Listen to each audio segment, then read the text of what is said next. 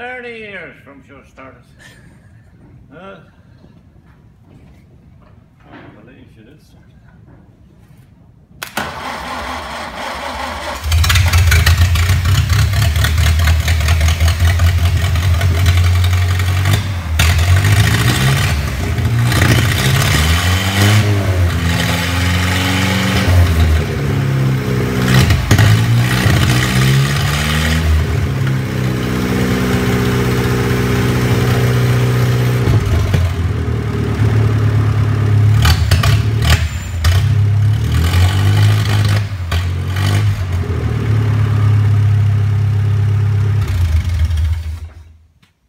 then.